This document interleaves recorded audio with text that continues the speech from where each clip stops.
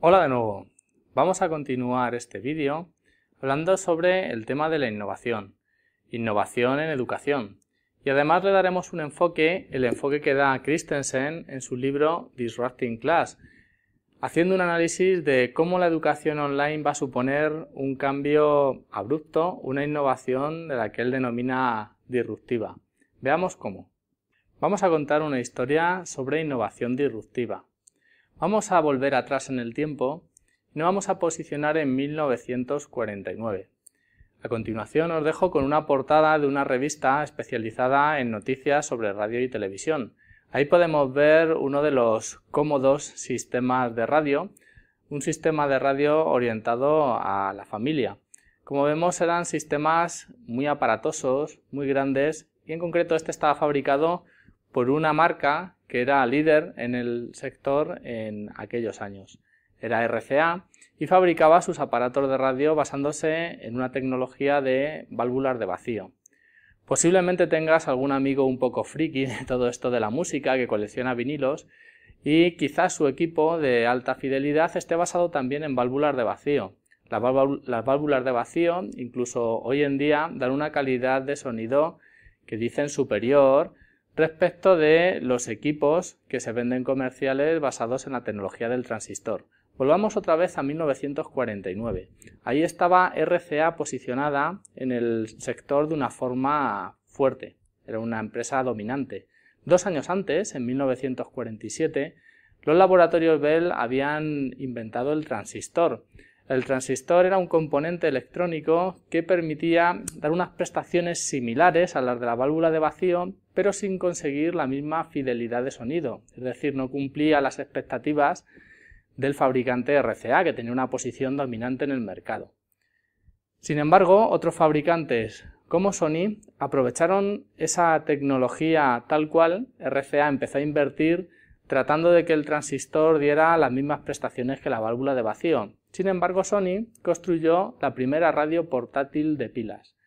Esto le permitió a Sony llegar a un público objetivo que no era el mismo público objetivo que RCA. RCA fabricaba grandes radios que estaban instaladas en los hogares. Sin embargo, Sony consiguió una radio portátil de pilas que requería muy poco voltaje para funcionar. Eso permitió a los adolescentes de la época escuchar música rock sin el control de sus padres. Es decir, llegó a un público que no era público objetivo para RCA. Unos años más tarde, Sony utilizó la misma tecnología del transistor para fabricar la primera televisión portátil, adaptada a los pequeños espacios que había en los pisos de la época. De nuevo, llegó a un público que no era el público objetivo de las grandes televisiones de alta calidad, entre comillas, de la época que fabricaba RCA. Veamos otro ejemplo de innovación en esta línea. Vamos a posicionarnos ahora a finales de los años 70 y principios de los 80. En aquella época, como podemos ver ahí, eh, DEC era el fabricante de mm, lo que se denominaban minicomputadores. En realidad eran grandes estaciones de trabajo para la época, muy enfocados al procesamiento de datos para centros de investigación, universidades y principalmente grandes empresas e instituciones públicas. El precio de estos ordenadores rondaba como mínimo los 200.000 dólares y era necesario un alto conocimiento técnico para utilizarlos. Pero llegó eh, la idea de fabricar computadores para un público totalmente distinto. Apple empezó a fabricar en esa época también pequeños ordenadores entre comillas de juguete. De hecho, en su publicidad hablaba de por qué todo niño debería de tener un ordenador Apple después del colegio y por qué después de muchas horas de trabajo con los ordenadores de Apple todavía siguen amando estos ordenadores, esta tecnología. De nuevo estaban enfocados a un público que no era un público objetivo de los ordenadores de DEC. Es más, mejorar un ordenador para DEC, ¿qué suponía? Aumentar las prestaciones, aumentar la memoria, aumentar la velocidad de acceso a disco, aumentar el número de operaciones que se realizaban por segundo, etc. ¿Qué significaba para Apple mejorar un ordenador? Hacerlo más intuitivo, más fácil de utilizar, más barato, incluso más pequeño y ligero. Vemos aquí que los caminos de mejora eran incluso opuestos. En un caso, mejorar significaba aumentar las prestaciones y en otro caso significaba incluso disminuirlas a costa de ser más barato o más fácil de utilizar. Déjame acabar con una pequeña última historia acerca del fonógrafo. Nos vamos de nuevo muy atrás en el tiempo, a finales del siglo XIX, y vemos cuando Edison descubrió el fonógrafo. Antes de la invención del fonógrafo tenías pocas opciones para escuchar música. Podías bien aprender a tocar un instrumento y te interpretabas tu propia música, o bien podías desplazarte a aquellos sitios en donde había algún concierto y disfrutar del repertorio que los músicos en aquel momento podían tocar. Bien, con la invención del fonógrafo podías disfrutar de música enlatada, Bien es cierto que la música en directo era mejor y más con la calidad de sonido que tenía el fonógrafo de la época, pero tenías que elegir entre no escuchar música o escuchar la música de baja calidad que te ofrecía el fonógrafo. Puedes imaginar que fue una auténtica revolución.